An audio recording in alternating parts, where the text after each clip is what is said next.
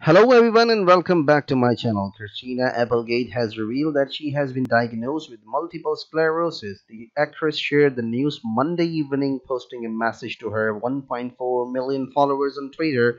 Applegate wrote, Hi friends, a few months ago I was diagnosed with multiple sclerosis. It's been a strange journey. She added, but I have been so supported by people that I know who also have this condition.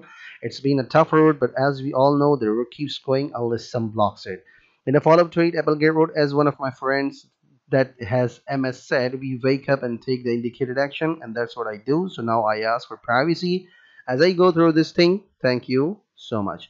When reached by the Hollywood Reporter, Applegate's representative pointed to the actress' online statement. Will love and support Christina and respect her privacy as she takes the time and space she needs in this moment.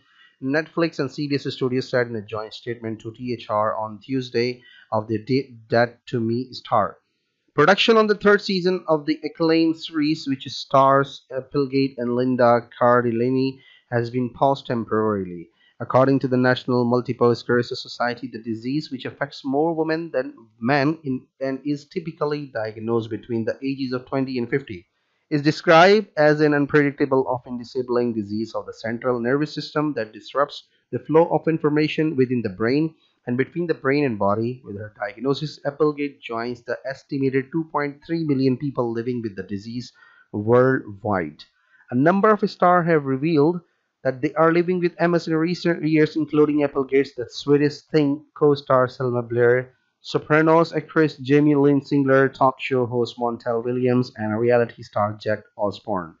In August 2008, Applegate revealed that she was diagnosed with breast cancer and later that month announced she was cancer-free after a double mastectomy. A battle with cancer was included in the storylines of her Netflix dra drama Deed, Dead to Me, which Applegate also executive produces. Spending time with her young daughter is also something that the actress has expressed is important to her. The actress revealed that she had been a stay-at-home for mom for two years in an interview in 2017. She shared that she tries to keep her days stress-free by working at her daughter's school and being there for her 24-7. However, the actress did pick up work again in 2019 with the Netflix series Dead to Me. Hopefully, Applegate can continue in her stress-free route with her recent diagnosis. Thankfully, she has support from her loved ones and some of the biggest celebrities in the entertainment industry to keep her going. I hope you enjoyed watching this video. Subscribe and thanks for watching.